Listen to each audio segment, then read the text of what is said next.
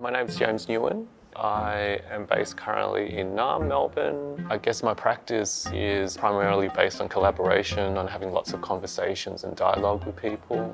And whatever comes out of that, be it video, performance, installation, doesn't really matter. The main thing is that how do I engage with these relationships in my life that feeds into uh, a evolving art practice. When you think about a glossary, you think of a list of words that's in text and it's in a book and it's very concrete and stable. But when human beings use a glossary, we sometimes might interpret words incorrectly or we can deliberately stuff these glossaries up. And to me, that openness is what really excites me. The first room that people will probably encounter is a big shirt room. And as I was developing this work with Budi Sudarto, and we wanted to bring in also queer voices and what it felt like to be different from both your family and your language group, different to the queer community that we have moved to here. You know, people from Indonesia coming to Australia, how how can we educate them with the Indonesian community here? Hmm. Sayangnya komunitas Indonesia di Australia When you think about each shirt, there's a sense of individuality. But at the end of the day, when you connect them from button to buttonhole, they form a coalition. And to me, part of being a human being is finding your connections, but also finding your own individuality and your own sense of self within the collective. The second gallery is where you have open glossary. Basically, it's our work of protest within the art gallery.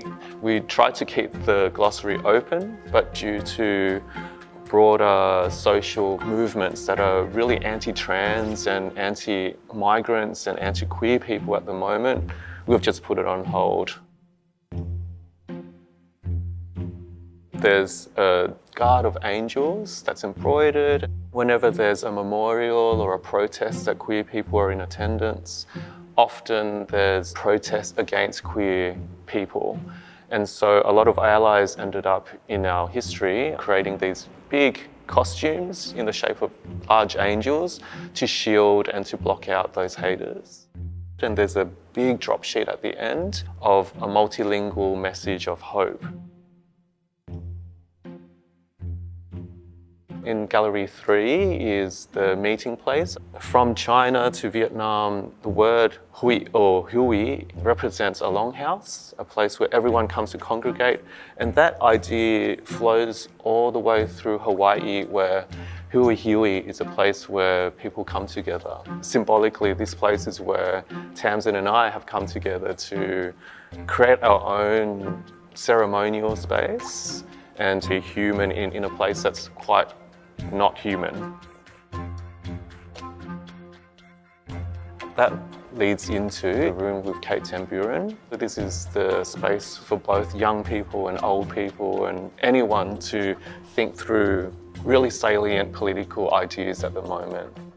The main theme around this is allowing children to develop their own language, to give them the opportunity to talk about these things in, in a future that's much more respectable than what we're going through right now and much more kind.